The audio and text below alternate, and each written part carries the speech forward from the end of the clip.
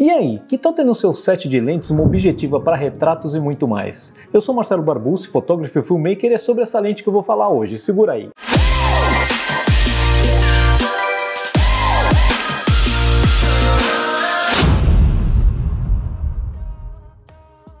Aproveita que você está aqui, já se inscreve no canal e clica no alerta para descobrir que a fotografia e o vídeo podem ser mais simples do que você imagina, mas vamos lá. Hoje eu vou falar sobre a lente Fujinon 90mm 2.0.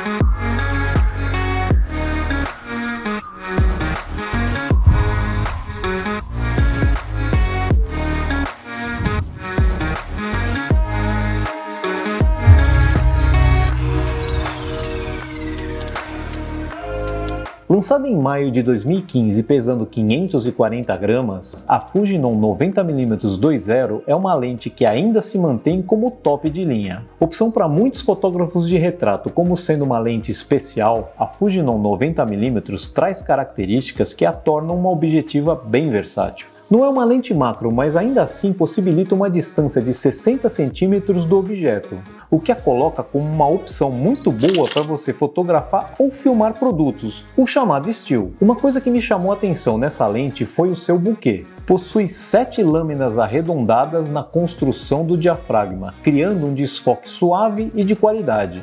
Trabalhar com foco seletivo transforma a imagem que você produz em um objeto de arte, seja na foto ou no vídeo. Outra coisa interessante nessa lente é o alto foco. Possui um motor linear quádruplo que a torna rápida e silenciosa para você fotografar ou filmar em ambientes onde qualquer barulhinho pode incomodar, como por exemplo fotografar um making off de uma gravação. Além dessas características que eu já falei, o fato dela ter uma equivalência a uma 137mm em um sensor full frame me dá uma tranquilidade para que eu possa manter uma distância do objeto que eu estou fotografando ou filmando sem que a minha sombra interfira na iluminação, mesmo querendo pegar detalhes da cena. Ou seja, apesar de ser uma lente colocada como especial para retratos, ela tem um potencial além do imaginado para diferentes finalidades.